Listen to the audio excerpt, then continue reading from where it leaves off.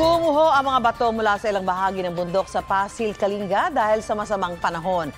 Hindi madaanan ng mga motorista ang Maluksad Road matapos humambalang ang mga nagbagsakang bato kahapon. Nagbabala ang Pasil Police na iwasan muna ang kalsada. Nai-report na raw nila ito sa Department of Public Works and Highways at magsasagawa na ng clearing operation oras na dumating ang gagamiting backhoe.